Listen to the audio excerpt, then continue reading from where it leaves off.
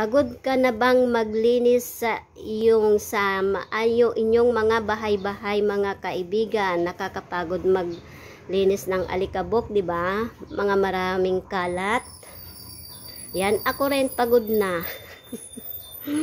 Nakakapagod mga kaibigan. So, ang ginawa ko po yung ginawa ko po today dahil wala si anak, naglinis po ako ng kanyang kwarto tinanggal ang mga maraming mga gamit na hindi naman niya po masyadong kailangan. Ayan yung uh, mga halos basu-basura na, ayaw niya lang itapon. Ayan mga kaibigan. Mm -hmm. Simple, simple, simple living.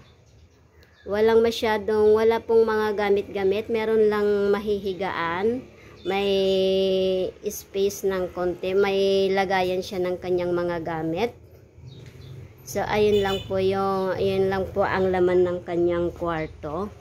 Siguro, um, susunod ko nito yung, ano, yung kwarto namin. Medyo, inaayos ko pa kasi kasi nagtatapon ako ng mga nag ini, ina, tinatanggal ko na yung mga hindi naman masyadong kailangan ayan.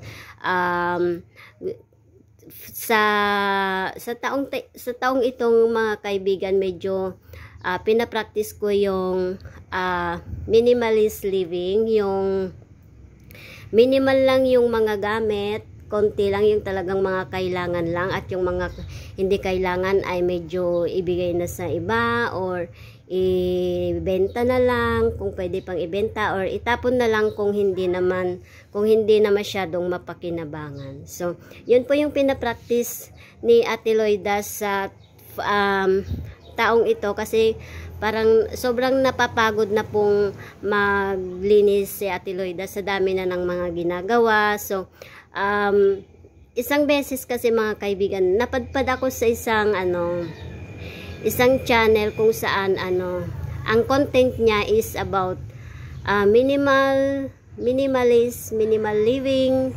uh, mga ganon-ganon. Yung ang mga gamit lang ay mga kung ano lang yung talagang kailangan sa buhay.